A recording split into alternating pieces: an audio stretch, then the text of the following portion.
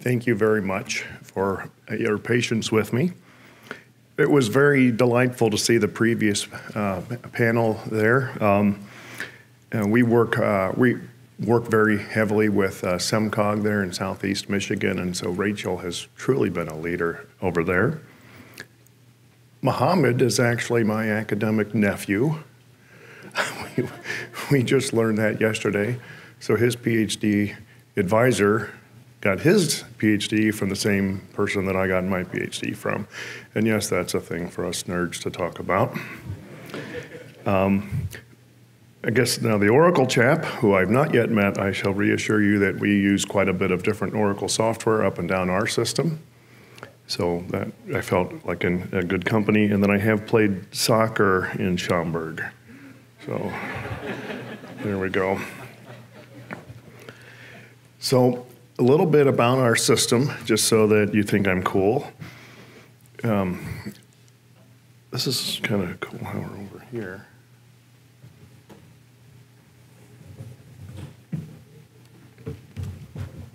I feel like I'm Borat. Getting away with something. There we go. Now the person that sits here, this next panel, is screwed. So we provide about 40 percent, a little over 40% of the water for the state of Michigan, including Flint. It is phenomenal. I get that question all the time, and I've also been told by my boss and others, stop mentioning Flint. It's like, whenever we go anywhere and I mention we provide the water here, do you know anything about Flint? Yes. Yes, I do. We provide the water for Flint in the northern part of our system. We have a water treatment plant, the Lake Huron water treatment plant, that provides the water for Flint and then a good chunk of northern Detroit. We have four other treatment plants, so we're five of the uh, 14 treatment plants that, uh, that Rachel mentioned that are providing water. Interesting, her question, the answer, or her, the question about, well, are you concerned about water resources here? We br- we're bringing it directly from the Great Lakes. And unlike here, Chicago, we do not have a diversion, meaning we take the water out from the Great Lakes and we put it right back into the Great Lakes. So we do not have to worry about the, uh, uh, the um, treaty with Canada to not divert water. Here they do. That's why otherwise, hey, just take it out and run the pipes, and it's expensive, but you got all the water you want. The concern is, of course, draining Lake Michigan and the rest of the lakes, which actually is a thing potentially, because if you look at Lake Aral over in Central Europe, you've seen that they had a lake the size of Lake Michigan, and it is now not there, or it's much, much, much smaller. So it is a thing. We take it out, put it right back in. So we have water. On the wastewater side, we're a little smaller than MWRD here in Chicago. However, we only have one treatment plant, so our treatment plant is actually bigger than their biggest treatment plant, which I also find great joy of pointing that out to them all the time. One of the things I certainly about the data and the data sharing aspects of what everyone's talked about here is that um, we're collaborating. If you look, you Google my name, John Norton PFAS. There's been several papers that we published with other utilities. John Norton Pyrolysis or John Norton biosolids, and you'll see the John Norton paper. I'm like fourth or fifth in the list of papers. We published several papers here with folks at MWRD and other utilities around the countries on these sorts of uh, country about these sorts of things, and that is a tremendous, huge benefit. The collaboration between utilities. Uh, this is not my typical energy level, but typically I'm more like the color of my shirt or my shoes energy level. Um, we work, I reach out, we, re, we gain, they reach out to us. So we're working with Denver, uh, and uh, San Antonio, uh, Houston, New York uh, DEP, and to, to talk about the different issues and the different uh, challenges facing us and how we work to draw, address those issues. So there we go.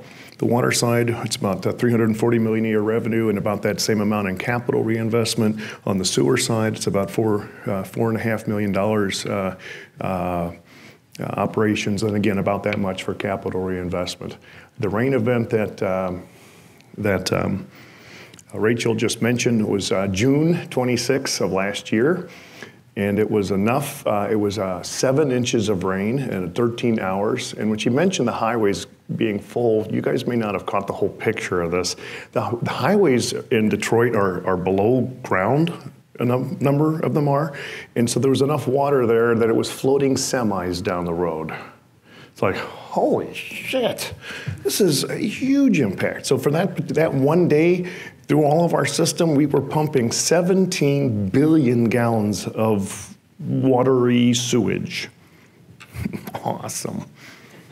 And then there were some pictures there on the other side showing you that I really was not lying about anything much. Now, the research side, this is where, honest to gosh, I can't believe I get to do this. This is a lot of fun for me, quite frankly, so I'm very grateful for the job. Um, so I'm the director of energy, research, and innovation. So the energy team reports up to me, the research side reports up to me, and then there's some innovative things that we're trying to do. Going to focus on the research side because we use a million dollars worth of electricity every week, and then half a million dollars worth of natural gas every week. It's like, well, we could go to energy neutral and turn everything off.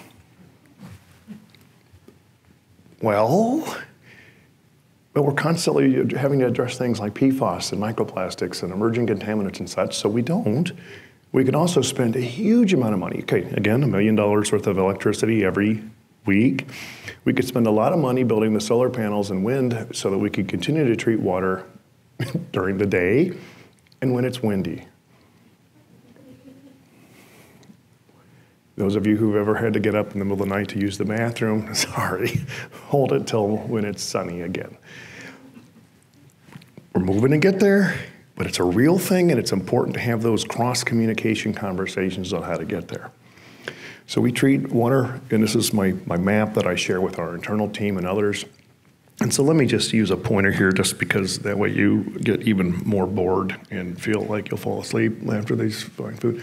Intake source water monitoring, the algal blooms. We have several projects looking at that sort of neat stuff. The water treatment itself, how to enhance it, how to optimize it, how to deal with a big storm event, how to deal with an algal bloom. What do you do? How do you pipe it out with this is so cool. We have pipes in the ground that were installed in 1856. That's older than most of you in this room. And occasionally they fail. Now, the neat thing about our failures, the neat thing, I'm glad this isn't being recorded, right, Ken? This is not, okay, good, we're good here. They're spectacular. We're the wholesaler, so all of our pipes are seven or four feet in diameter or bigger.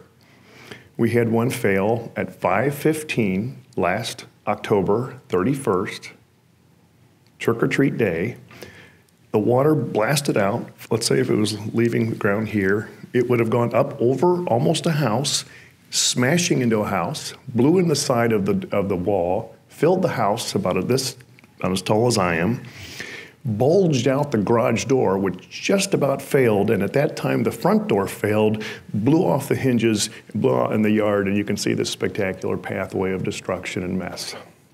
Unfortunately, we didn't time that failure properly. That was humor. okay, we don't time our failures, but we because we were still recovering from that big rain event on the wastewater side or the water wastewater collection side and such, which had energy challenges, uh, pump condition challenges. MDOT has huge pumps, bigger than ours even, to pump out the highways and such.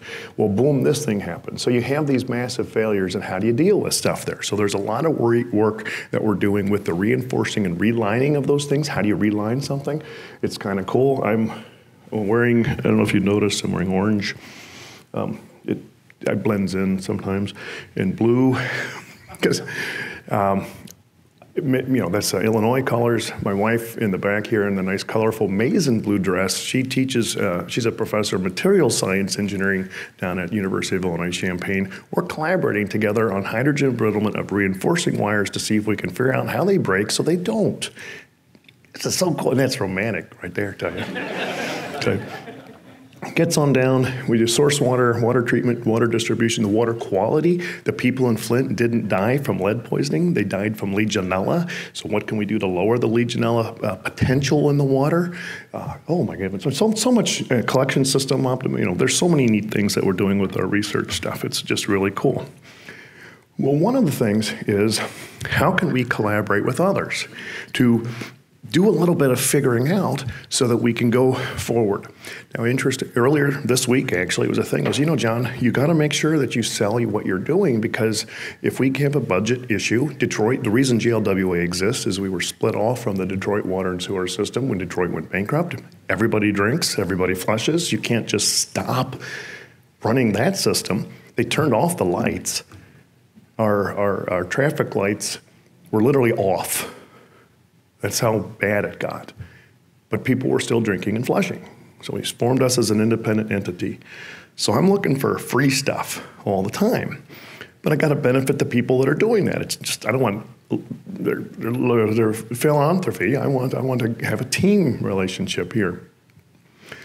So earlier this week, I was saying, well, John, you better make sure that you, you publicize and share what you're doing. Because, you know, research, that's like the icing at the top of the cake.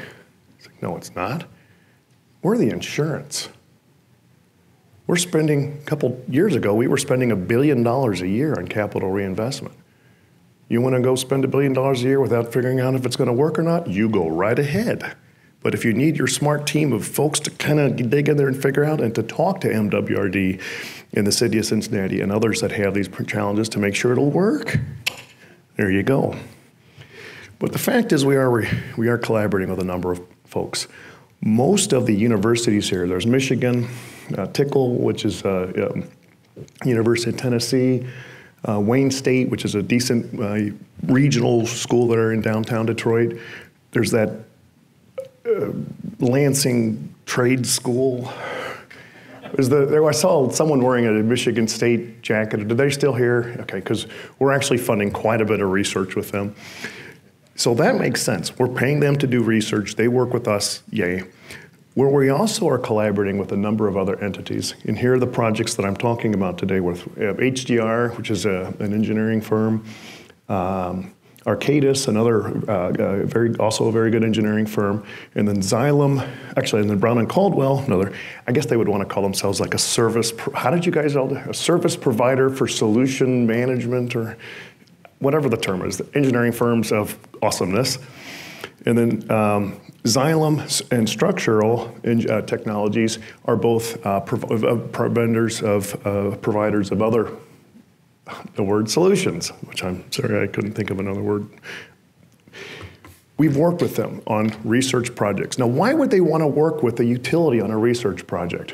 One of the aspects is, and this is something I, am always working with with the uh, the academic institutions is look when we come up with an engineering design, you make this, you make it a thousand times. You don't modify this for, oh, you're going to be in Chicago? Well, it needs to be a little bigger. Or you're going to be in this, you're going to be in central Ohio near that regional trade school. You better have bigger buttons because they're too clumsy to hit it right. You saw where I'm going with this, okay? We don't do that. But all of the infrastructure, the civil infrastructure that we have, is customized for the local region. They have different drivers, different constraints, different soil conditions, different ambient temperatures, et cetera, et cetera, et cetera. When Flint failed to treat their water properly, when they tried to treat their own water properly, they were treating a river which was fairly filthy. But people do treat rivers which are fairly filthy because that's what they got, and they got great water. They didn't adequately design and operate the system for the local conditions. Why in the world would a vendor want to experiment with local conditions with us? Hey, I just answered the whole question. They get to have an engaged utility, third party validation. You know, hey, Dr. John, did they really do this? Yes, they did. We had this here. This is how it worked. Little challenges over here. Yay. They get that feedback and they get to be able to demonstrate that to others. Here's how it works. Here's, here's what's going on. It's a fairly moderate investment for them and it's a tremendous value to us because we also get to explore that technology. Plus, there's the team building aspects. So, the collaborative public private partnership there, pretty darn cool. Not what you guys are thinking yet about the public private partnership, such as the folks at the Illinois, I'm sorry, the Indiana Tollway uh, described others. However, that's kind of where we're going to go with this. Oh, bad word. Since you guys are tired and it's late, I wanted pictures. I apparently I screwed up.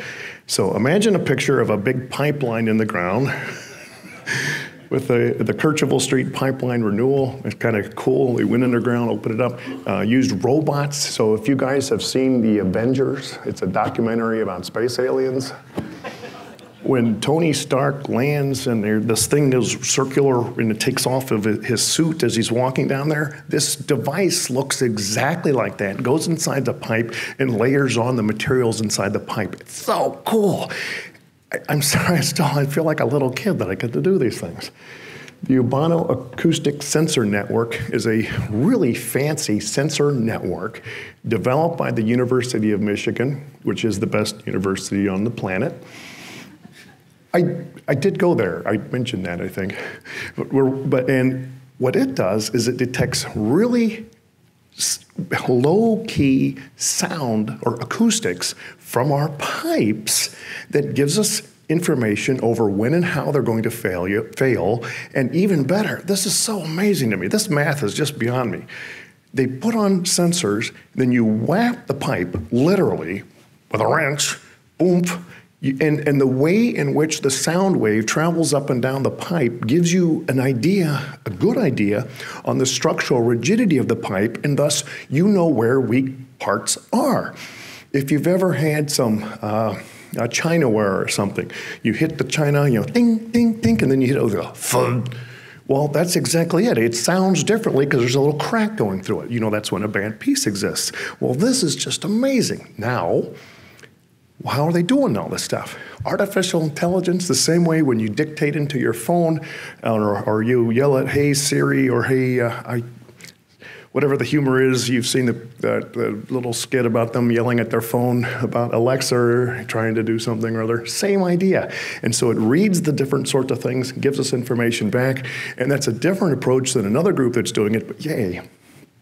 Um, now, on the fuel side and such, uh, we treat uh, our, our, water treatment plant, wastewater treatment plant is a 1.8 billion gallon per day facility. We produce about 700 tons of biosolids every day. That would fill this room to higher than it is. And we are researching methods right now to turn that, squeeze it into bio crude that we can then sell at reasonably decent profit that will essentially potentially run our entire system. Now, there's where the public private partnership comes in. We treat water, we treat waste. So, oh, I got another hour? Ken, is what you're. Okay. Yeah, the public private partnership comes in there is that we do not do these other things. We treat water, we treat wastewater. We do a really good job of that. If you've got a high-end fancy dancy thing like hydrothermal liquefaction that uses hundreds of degrees of temperature and 3,000 psi uh, pressure to squeeze waste into bio crude, yay, save the future, we're not going to run that. So we're doing a lot of research in that, but we're also trying to bring in other partners that will eventually be the people to, that will run that. Then finally, we have a neat project, a neat collaboration with Brown and Caldwell and Michigan State and several others looking at uh, biosolids and micropollutants. Because we keep on investing in science, and those bloody word chemists keep on becoming better. So the, the phrase that I've heard is zero keeps getting smaller. We have parts per trillion PFAS in our biosolids. And then if you've read the, if you get consumer reports, consumer reports just just said that they want they believe that it should be a one part per trillion limit. Oh my heavens! So what we're doing is we're trying to figure out when and how it goes. How does it leach and travel through the environment? How does it get taken up into the food that you ate earlier today? And will it kill you? And if so, when? Not that that should make you worried or anything. So sorry we don't have pictures. There we go. Next level research goal, and this is the part where I'm going with, is that we are decommissioning because we are oversized. We're decommissioning our northeast, our northeast water treatment plant. It's a 240 MGD water treatment facility, and we're going to be converting that into just simply a pump station plus an R&D center Research and Development Testing and Trialing Center. Now, I have as examples is Underwriter Laboratories. I don't know if this is an Underwriter Laboratory listing. Every piece of electric device you have in your house is a UL listing. National Sanitation Foundation, now known as NSF International, actually in Ann Arbor, tests and trials and validates technologies for water use. And then Consumer Report Labs, they buy vacuum cleaners, coffee makers, whatever, test them and trial them, and they give that information back out to the public. Testing and trialing vacuum cleaners and, and coffee makers is fine uh, and, and easy-ish testing and trialing um, multi-million dollar mixing systems and such and all is a little bit more challenging. That's where we're going. We're starting to get folks in there. Why would a third party entity want to pay us money to do this or give us stuff to do this? Third party validation, third party trialing. If we go to the west about 50 miles, we're going to see an, a, uh, at the Rock River, I believe it's the Rock River Sanitary District, where Aqua Aerobics built, Aqua Aerobics is an equipment manufacturer, built a facility to test and trial their stuff within that sanitary district so they can see what happens. What does real world look like when we have this stuff through? That's what's going on. We want to be a partner for the others to go develop and grow technologies. We want them to be successful so that, that we can buy their stuff. And there we go. It's awesome. I think I have maybe one more slide. Oh, some challenges, resistance and challenges. I don't know if this is necessarily the room that really needs to hear all that. It's in the slides, fine to talk about it. You know, what workforce limitations, just if anyone else, as I mentioned, that is our keyest goal. And then here we go. I actually will include this just a little bit. When you learn your own system very, very well, you, you start out with nothing. My wife and I don't play golf. We're down here if we were in the golfing world. If any of you have ever played golf, we go play a round of golf, you guys would be able to give us advice so that we don't look as much like idiots. As we were to improve, if you had a year's worth of experience or such, as you rise, the world in which we'll give you guidance and advice decreases. Who coaches Michael Jordan or Tiger Woods to be better in their respective field? There's not many left. Well, the same sort of thing, right at the top, when you're mastery of a system, those are the same sorts of clever, sharp, persistent, resilient, hardworking people that have developed whatever it is, and then they're entering into another field. Well, how do they succeed? How do they go around it? And that's a really interesting challenge. And I've actually decided I'm putting this in all of my talks from now on out because I see that this, this how do you collaborate when you don't have any idea what the other person really needs and wants? And so some of your questions are like, well, of course we don't like this.